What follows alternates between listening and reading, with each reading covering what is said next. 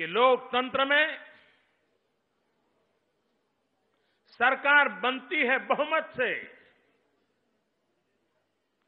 लेकिन चलती है सर्वमत से।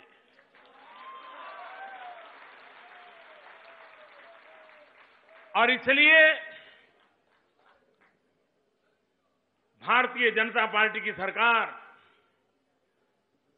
जिन्होंने वोट दिया है उनकी भी है, जिन्होंने वोट नहीं दिया उनकी भी है।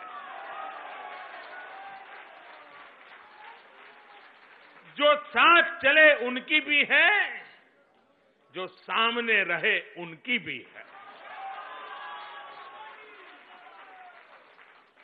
सरकार को कोई भेदभाव करने का हक नहीं है, और न ही भारतीय जनता पार्टी ऐसे किसी हक को स्वीकार करती है। और इसलिए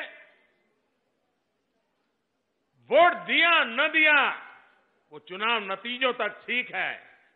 उसके बाद उत्तर प्रदेश है तो सबके सब उत्तर प्रदेश की वो सरकार है वो सरकार सब उत्तर प्रदेश वासियों के लिए। मणिपुर की सरकार है, गोवा की सरकार है, पंजाब की सरकार है, उत्तराखंड की सरकार है। सरकार सबकी होती है सबके लिए होती है और सबको साथ लेकर के चलने के लिए होती